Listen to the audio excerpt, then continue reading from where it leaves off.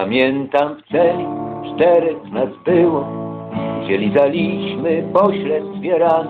a z nami siedział cichy, pogodny. Ksiądz wron, na śmierć skazany,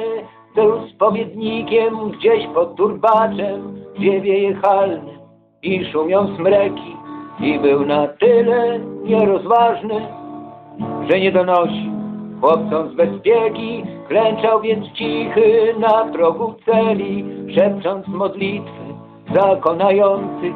i błogosławił wrogów za drzwiami i nas pokotem celi leżących, a kiedy wpadło oprawców czterech i ręce wiązali mu liną, on wciąż powtarzał, wybacz im Pan, przecież nie wiedzą,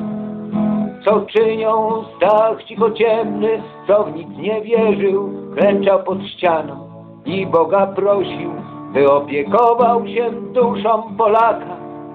co ginie, bo nie donosił, więc jeśli spotkasz gdzieś purpuranta, co podpisywał się bez oporu, wspomnij biednego księdza Frona, co zginął za Polskę i dla honoru.